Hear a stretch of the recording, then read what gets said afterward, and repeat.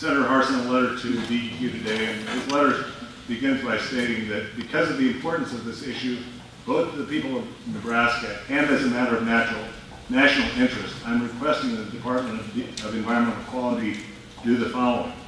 Extend the comment period by at least 60 days.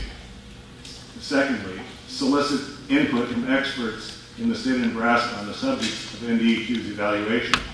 And then third, conduct at least one more public hearing. And I believe that uh, tonight's uh, hearing is Exhibit A as to why all those things should happen.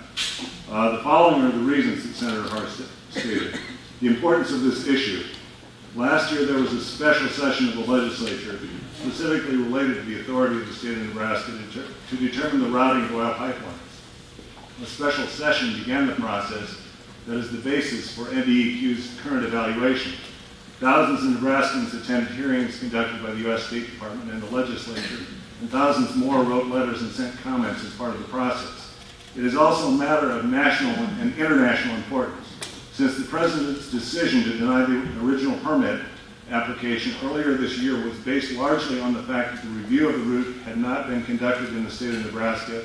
We need to make sure that Nebraska's review can withstand intense national scrutiny. Secondly, the lack of consultation with local experts.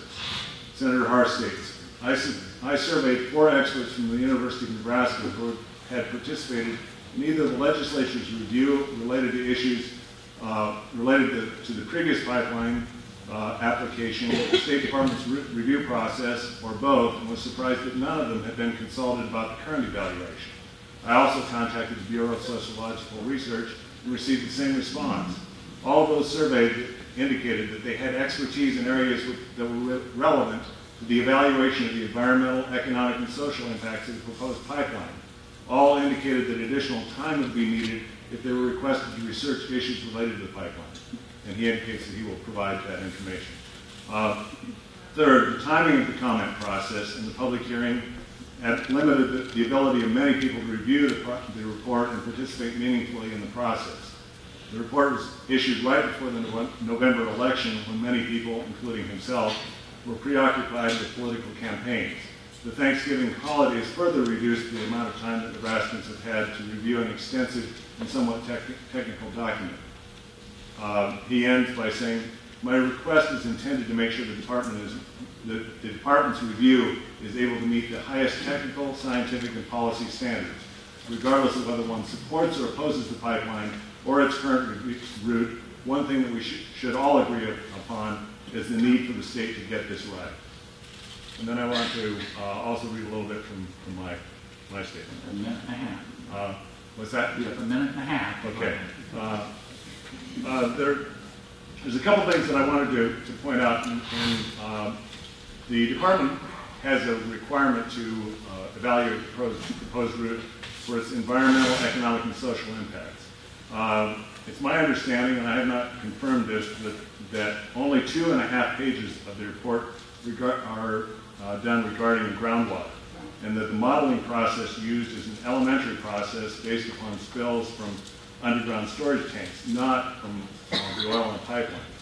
Um, and this is, uh, and, and th that this also does not do, uh, that there's also no modeling based upon the uh, site-specific analysis of the, the kinds of uh, modeling that's needed to protect our, our interest in groundwater.